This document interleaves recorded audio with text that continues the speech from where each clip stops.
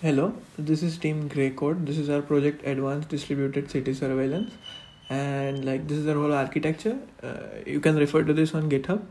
I'll be focusing on demo here, so let's start the demo. So I'm just starting on the app server and like our front end, and this this is our backend thing. And then coming to this, this is our dashboard the dashboard receives like data from two sources uh, one is uh, the human source which is app so let's let's see what's in the app. So first of all when we press like we have three buttons and when we press either one it it asks for permission for location. And then when, when you press like the button again it's like uh, it sends your location. That is the warning signal with location to our server. Then you press call for help. So this is like a, a more serious kind of signal. And then there's like the feedback thing where you can like put in uh, data or what crime you saw. And then we uh, we take that to the server and then you know we showcase all this uh, geotag data in like a organized manner on our dashboard. So this is our app uh, receiving data from our human source and so it, it shows like the cool human icon. And then we'll have like a serious uh, icon thing that is like the the report crime thing from the app.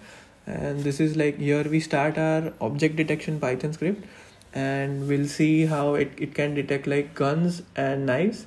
So i'm showing det- detection of guns and it sends like api call to our server.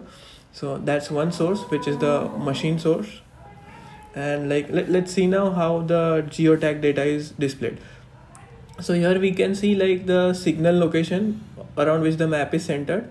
And then there is like police station private cam and public cam so let's see for a different source. So from the for the machine source i'll click on this and then it, it shows me for like so this source was coming from a different city. So it, it shows different sources that were in that city. So this is the same. Police station public cam and private cam location. Now these are our server logs. If like if you want to see what a server is logging and the next thing I'd like to show you is our object detection software kind of thing that like detects guns and knives. So here's some cool sped up footage of that. Uh, so we have this project uh, on our github that is like on on my github. I'll link that in description. So please check it out. And it's like a, a good for cause project. So if, if if you are interested like let, let's collaborate. And like th- thank you for watching